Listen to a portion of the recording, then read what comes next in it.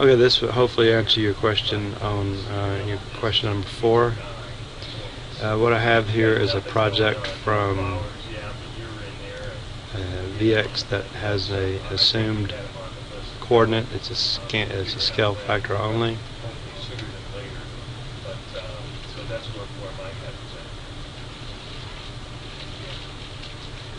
So you can see here from the imported files uh, the coordinate for point GR, which was the occupation point, is just an assumed coordinate.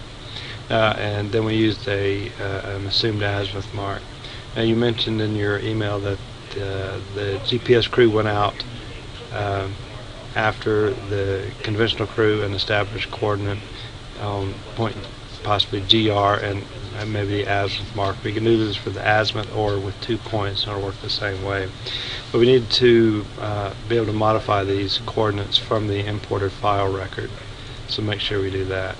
So uh, I'll open the job up, select the point, and get the, the coordinate record from the job file. This is the one I can edit. Uh, now this coordinate is 367605.8 and hopefully this is meters, yes. And you can see the effects uh, immediately of what's happening to the coordinate. Uh, this is 9 4 7 5 1 3.3 elevation is uh, hmm, we'll just change it uh, 1650 okay so once we get all that in and once we hit compute recompute the coordinate for this point are done up in their appropriate location now. Elevation has been changed, but now we need to change our azimuth. So if we just change this to uh, something that it should be, uh, we'll just say uh, 150, and you'll see it rotate just a second once I hit recompute. So now, uh, once that's done, we can go up to our coordinate system and change it to the appropriate system and zone.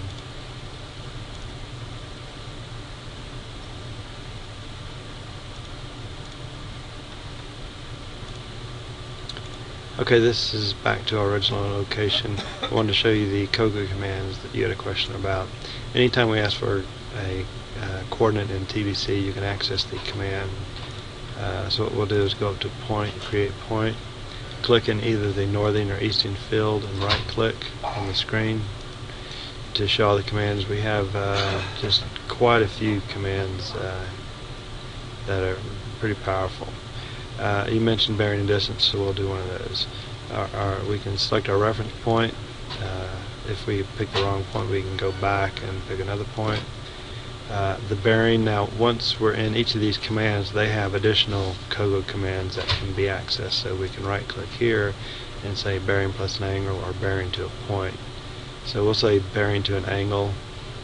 Now we're in here, we have another one. We can do it point to point bearing, say from uh, this point to here plus an angle. And now there's more commands in there.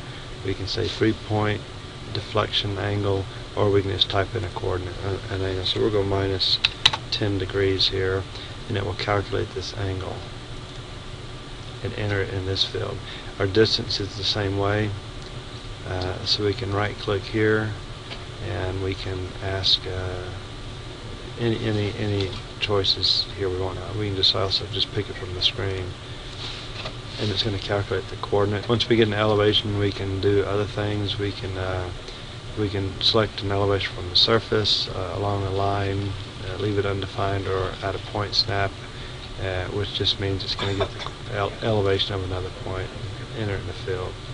So when we hit add, it will have that coordinate that we calculated. So pretty powerful commands. They are hidden. I would like to get them exposed a little bit more so users will know they're there. Uh, if, if they don't go through the tutorials or read the help, then they just have to stumble onto it. Uh, so I'd like to get that corrected. Anyway, that's that's it. Hope this helps.